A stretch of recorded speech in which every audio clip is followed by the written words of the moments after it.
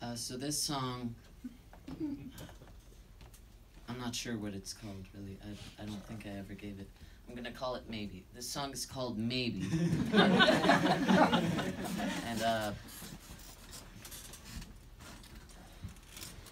uh, something I find interesting about it is that it seems to be a very R&B type song, which I find very weird because I don't listen to any R&B.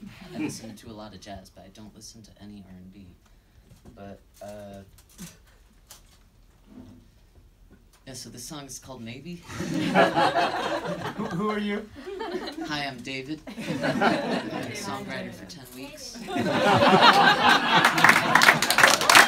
Oh, David! That was the song.